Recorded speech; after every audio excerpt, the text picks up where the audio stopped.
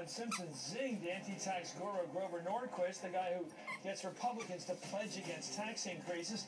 Here's what the former uh, Republican senator said today at a hearing of the super committee charged with finding $1.2 trillion in budget savings.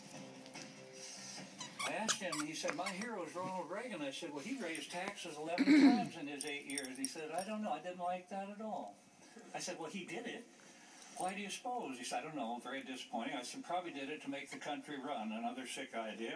Wow, they always forget about that, about Ronald Reagan. Expect to hear that line, by the way, repeated by Democrats in the days and weeks to come. We'll be right back. America's conversation starts here. Unlike anything else on morning television. Morning Joe, weekday mornings from 6 to 9 on MSNBC. Tonight on MSNBC, Al at 6, Chris at 7, and Ed at 8.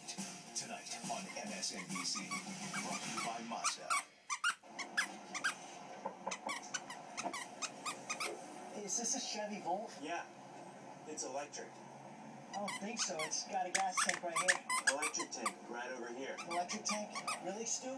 Is that where you pour the It's electricity in? actually